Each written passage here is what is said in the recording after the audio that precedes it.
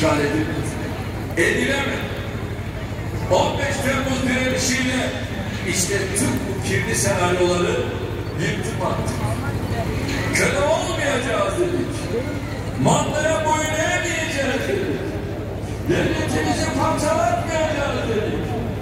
Türkiye'yi işgal ettirmeyeceğiz dedik. Ezanlarımızı susturmayacağız. Şanlı bayrağımızı indirmeyeceğiz dedik. Bir gecede kadını erkeği genci yaşlısıyla 253 vatan evladını şehit verdik.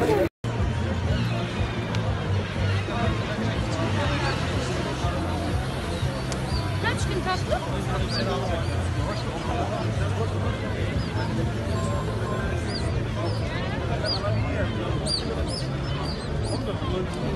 Valimiz, efkarımız istikbali vatandır demiştir. Bizim de emelimiz, fikrimiz ve gayemiz her karış toprağında bir şehit yatan vatanımız